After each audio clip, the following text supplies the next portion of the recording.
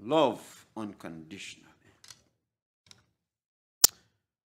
So we don't love by feelings, we love by principle. Is that clear? We don't love by feelings, we love by principle. We don't always feel like it, no, but we do it anyway.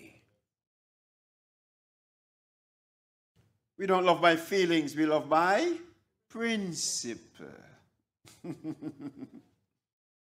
we are disciplined, is that right? The Apostle Paul says, I bring my body under subjection.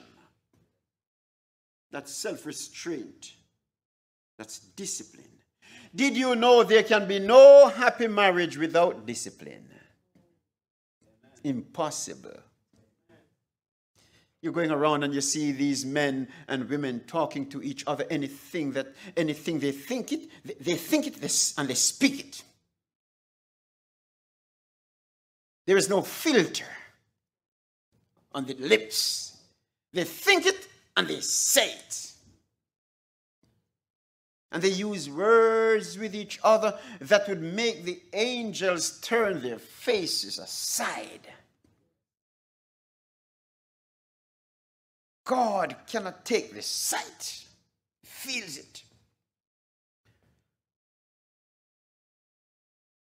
Words. Sometimes, my friends, the words couples, some couples use in their home to each other, you wonder what's happening here.